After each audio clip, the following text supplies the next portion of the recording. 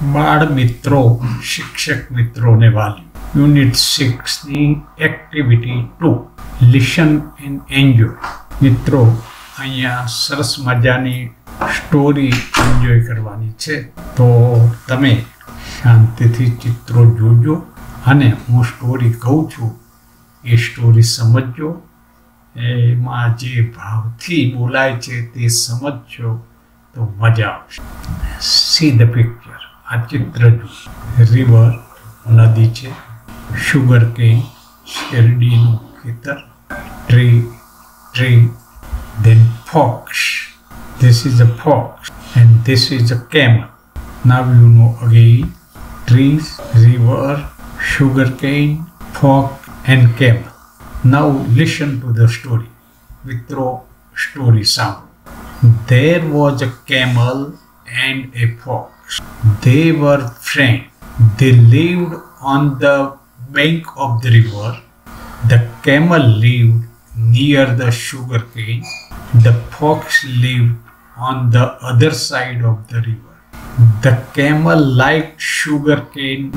The fox liked sugar cane too. Fox also liked sugar cane. So every day the camel would cross the river and carry the fox to the farm of his back. One day they entered the farm.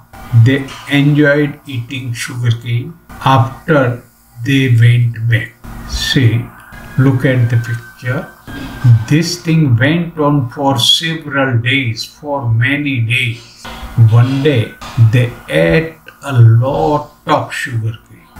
The fox started singing. After eating sugarcane, this fox started. Don't sing like this. Farmer will come and beat us. But the fox kept singing. The farmer came there. The fox ran away from there. But the camel could not. The farmer beat the camel.